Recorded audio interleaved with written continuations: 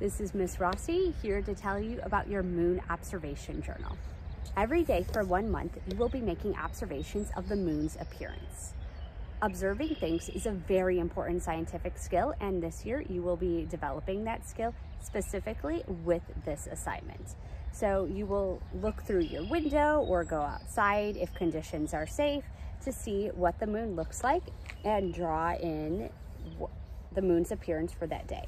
So you can pay attention to the rise and the set times. So these are written for Elgin and halfway between these times, the moon will be high in the sky. So at times it may be difficult to make your observation due to the conditions. It might be too foggy or a little difficult to see the moon due to clouds. But sometimes if you wait a little while, the conditions may change. When I came out about 10 minutes ago, it was cloudy and hard to see the moon. But after a little bit, the clouds went away and you could see the moon in a very clear sky right above me. So I'm going to draw my observation. So I can look up and see what the moon looks like. And then I can shade in the part of the moon that does not appear to be illuminated today. And I will repeat this every day. The moon's rise and set times change every day. It's about 8 a.m. and there's the moon. So you'll need to pay attention to when is the best time today to do your homework. Are you getting up early?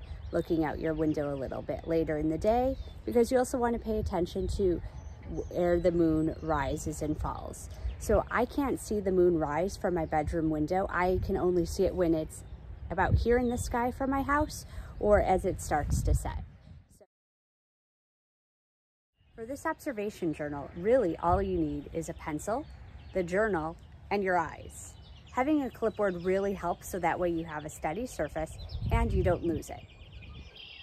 Other tech tools are available, such as an app for your smartphone, binoculars, and a telescope. You can use a simple telescope to help you with some simple nighttime or daytime moon observations. If you have a pair of binoculars in your house, this is a great opportunity to use them. So the trick with binoculars is to find the object you want to see in the sky, look at it, then raise your binoculars to them and then you will see the object. Pretty cool, huh? About an hour and a half later, I could see the moon through my window.